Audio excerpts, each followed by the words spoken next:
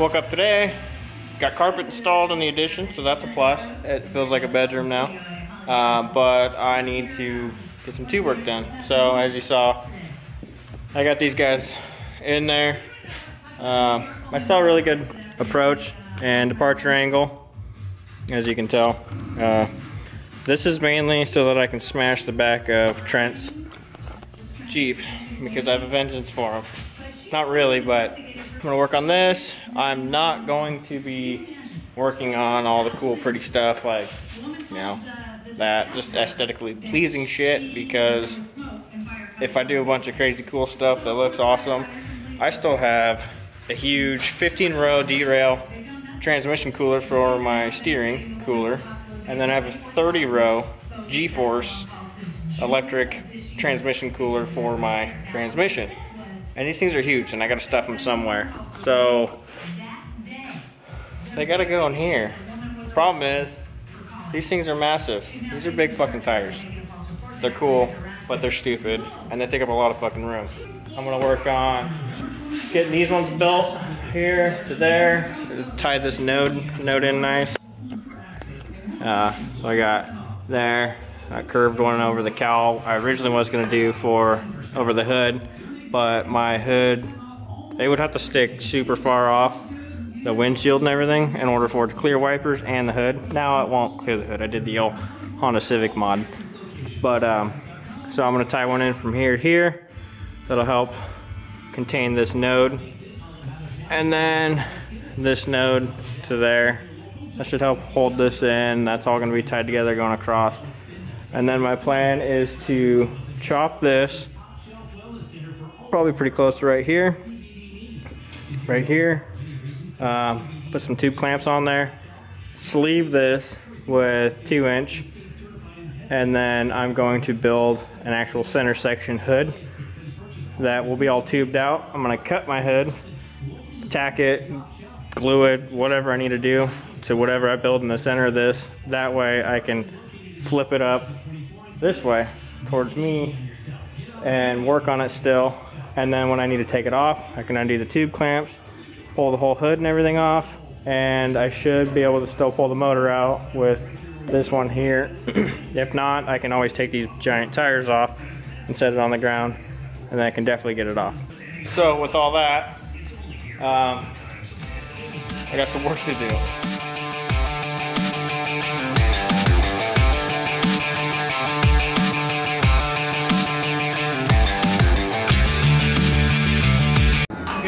Plug it in.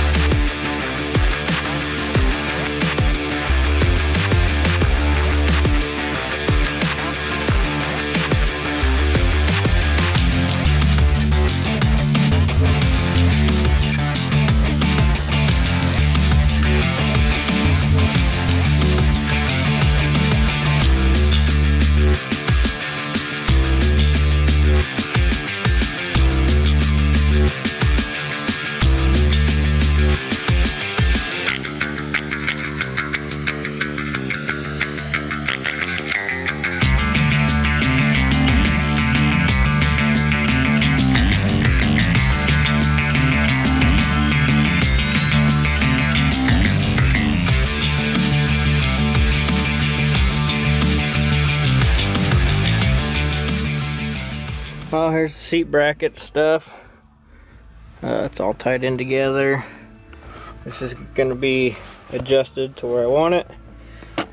That way I can adjust it so it doesn't hit anything up here. Got to have my cup holder will be there. Um, but yeah, it's all it's all in and mounted, good and solid. Uh, works like working on the gauges uh, at a later date.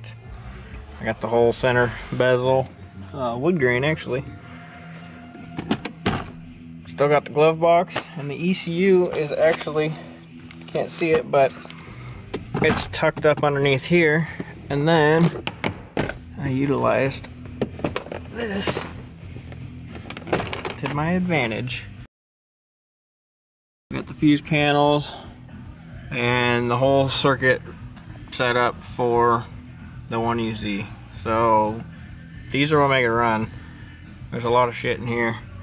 Uh, I did the best I could. Built this little plate, so I mounted in there. And uh, obviously tucks away pretty nice. But um, yeah, so I think this is all constant on power. Obviously power in, and then all these fuses are powers out to the relays, and then this is key on power. And uh, these are all fused key on outs, obviously. So that turned out well. Pretty happy with that. It took a long time. Also, it turns out, so my buddy Doug and I spent two days, two and a half days working on that. And uh, got it all in there. Went to crank it to get it to start, and it wouldn't start. Uh, every once in a while it would kind of spit a little bit, but it wouldn't do anything. And I was losing my mind. So I uh, went to bed, woke up the next day, and I was about to rip all this out and wire it up. Uh, how you can, just to get you by basically, uh, just needs like power. You need to trick the um, ECU into thinking the fuel pump's kicked on so it'll run properly. There's a couple tricks to making it happen just to get you by. Uh, basically, it's the way you test things. And after all that work, I was about ready to just run it like that. I was getting pissed. So then the next day I came back out here and I got a voltage gauge and I checked the voltage. Key on, it was about 12 and a half, 13. And as soon as you go to start it, it would drop down to about five. And it wasn't enough to kick on all the relays, only the first two were kicking on, which the first one kicks on the circuit open, which sends power to these two. And then this is the fuel pump relay, but these two actually work together. So one sends a signal back to the ECU, one actually sends power to the fuel pump. So it was kicking all these on, but the fuel pump wouldn't kick on. And uh, that was obviously causing issues. So put a new battery in it, works great. What are the odds? So that was nice. All that hard work and stuffing it in there and I'm actually able to use it. And the ECU is actually underneath it. Uh, almost where the factory spot is. if you know where the third gen 4Runners are, they kind of slide underneath um, the airbag. About right here. They'll slide up in there and they go way back there. But they're also, I don't know, half the size of a 1UZ ECU. 1UZ ECU. Um, so that was a challenge to make that fit. And then keep the glove box and the plate above it with the light on it. But I got all that in there. And uh, yeah, so that's nice. It started for you, but it's kind of tore apart right now. And I don't want to do it right now. So I'll make uh, another video on that of it running. It's really loud and it's obnoxious because it's just open headers, which are eBay headers. But uh, yeah, it still sounds good. Still a 1UZ. Boom. Can't even tell. But yeah, and then also all the wiring. So I don't know if you noticed, but I ripped everything out from underneath the engine bay because I don't like that fuse block that sits in there and all that crap. Uh, so trying to make sure that I still had all the amenities that I have in here.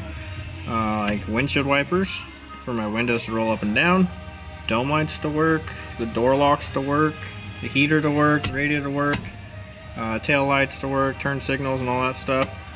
That was a chore, um, but I got it figured out. So I have no wires underneath the hood except for the engine harness which pops out of the firewall and goes all over the engine that's it so that's nice for now anyways I got all the gauges and stuff to run like that and headlights and whatever other stupid crap that I do up there. But it's nice to clean up that giant ball of crap that's usually just stuffed in the wheel well.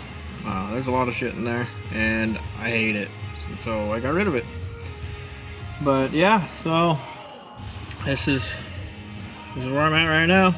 Um, tubing's getting there. Tomorrow I'm going to pick up that other piece that I need. Uh, and hopefully get it cut, get everything built and tacked into place. I can burn it all in and clean it up, paint it, and uh, go from there. So, catch you on the flip side, guys.